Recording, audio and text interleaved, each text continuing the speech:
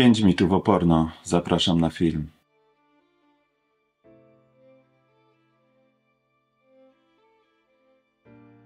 Przemysł porno jest zbudowany na kłamstwach. Przemysł porno to szataństwo. Dlaczego tak mówimy? Ponieważ świat porno jest przesiąknięty kłamstwami. Porno potrzebuje kłamstw i mitów, żeby się utrzymać. Jezus powiedział o szatanie: jest kłamcą i ojcem kłamstwa. Zobacz Ewangelię Jana, 8 rozdział, 44 wers. Imperium szatana jest podtrzymywane przez kłamstwa na kłamstwach, a nowe kłamstwa przykrywają stare kłamstwa. Nie jest więc zaskoczeniem, że porno obiecuje o wiele więcej, a dostarcza o wiele mniej. Nie tylko mniej, ale prawie nic z tego, co obiecuje. A czyż nie mamy już dość bycia manipulowanymi? Reklamodawcy nas okłamują, politycy nas okłamują, porno także nas okłamuje.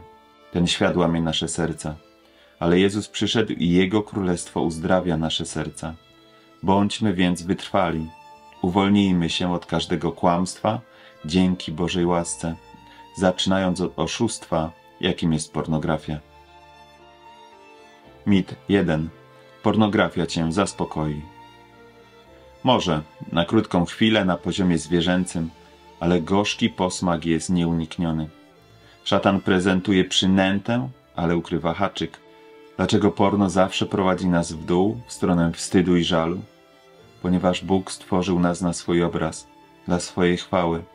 Jego wzniosłe cele wobec nas obejmują wszystko, czym jesteśmy, tak nawet naszą seksualność. Więc kiedy używamy Jego daru seksualności do niecnych celów, co może się stać, kończymy rozczarowani, wyczerpani, czując, że marnujemy czas.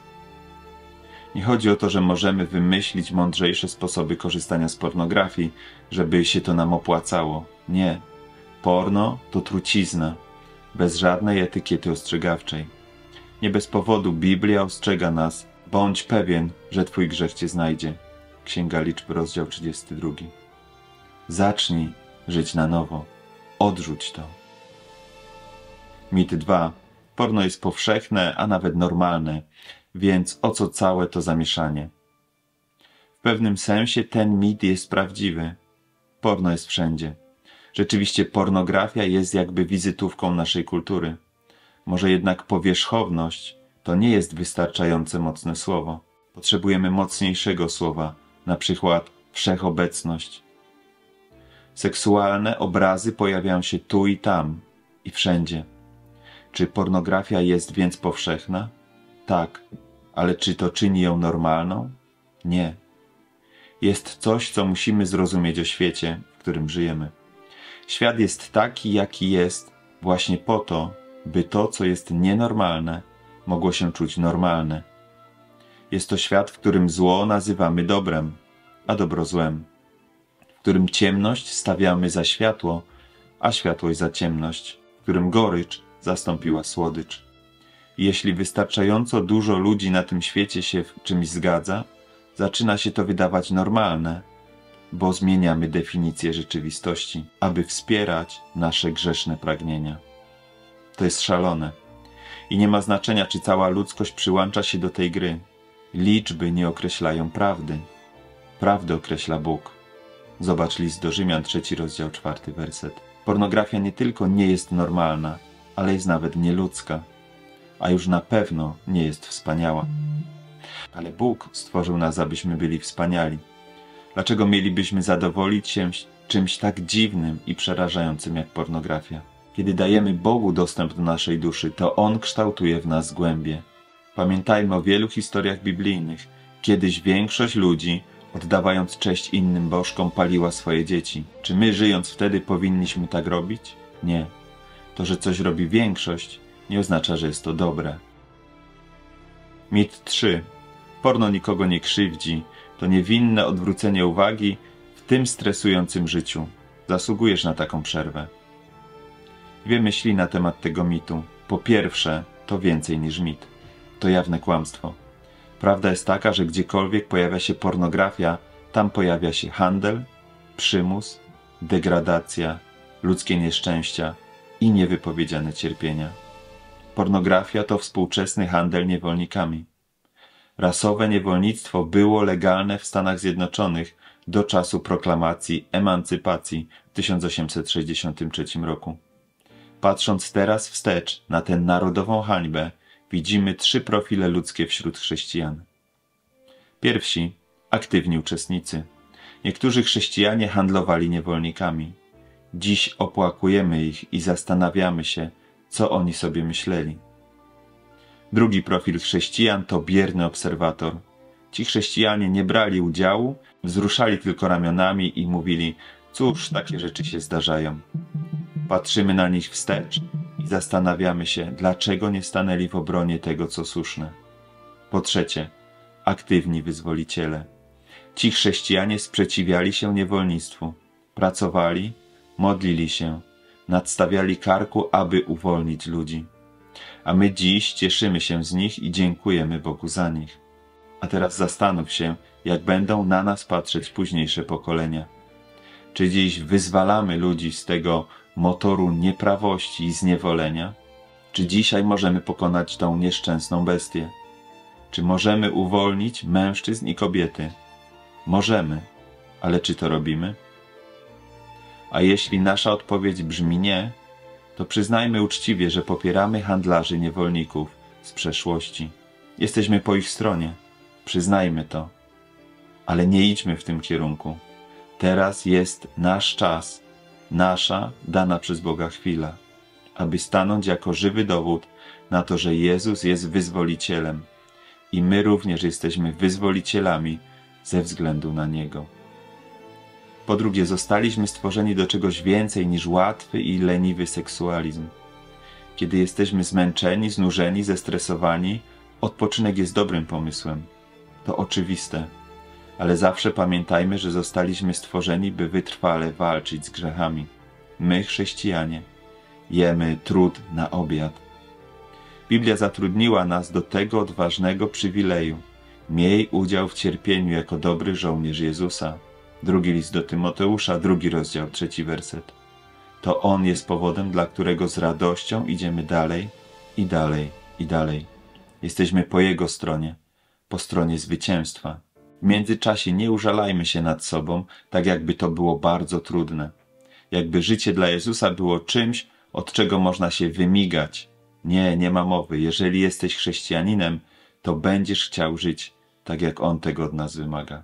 On nas kocha i jest cały dla nas. My kochamy Go i mamy żyć na wzór Jego. Cóż za przywilej. Mit 4. Porno nie ma na mnie trwałego wpływu. Mogę przestać w dowolnej chwili. Mam nad tym kontrolę. Mit ten mówi: Możesz zaplanować swoje korzystanie z pornografii. Powstrzymuj się w tych momentach, kiedy musisz być najlepszy dla Chrystusa, rodziny czy czegokolwiek innego, ale potem, kiedy już nie musisz, możesz być grzeszny. Nie ma problemu. Naprawdę?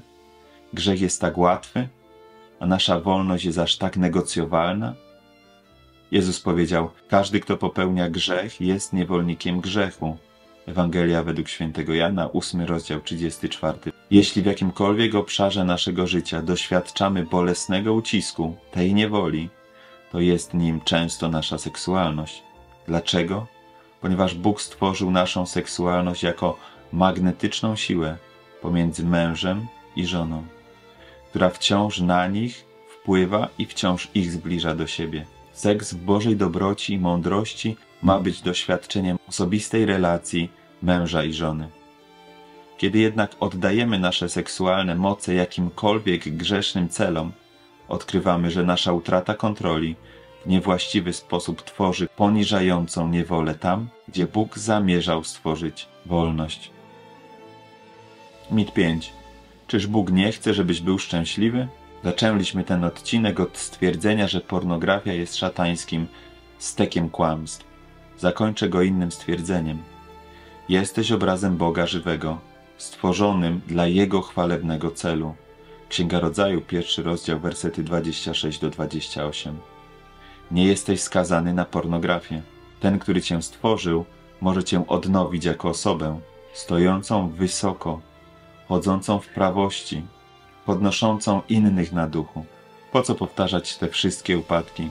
Twój łaskawy Zbawiciel oferuje Ci wolność w tym nowym życiu.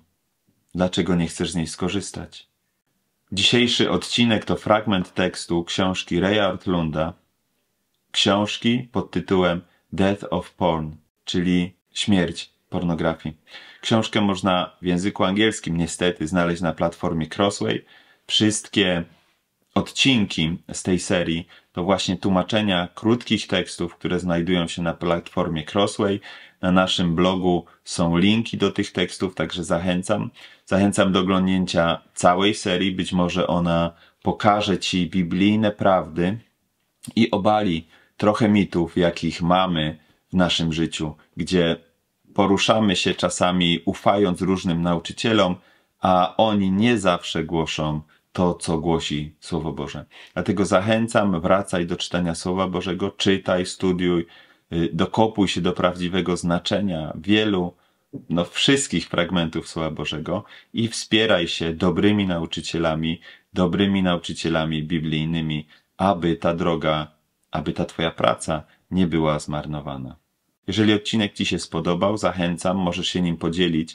Dzisiaj wielu młodych ludzi cierpi na ten problem, na problem pornografii, uzależnienia od pornografii. Są w klatce, z której nie mogą wyjść, a tak naprawdę wyrwać z tej klatki może ich tylko Jezus Chrystus. Zachęcam, jeżeli uważasz ten odcinek za pożyteczny, podziel się być może ze swoimi znajomymi, być może udostępnij go gdzieś w social mediach, aby inni też mogli skorzystać i znaleźć wyjście, wyrwać się z niewoli, w jakiej tkwią.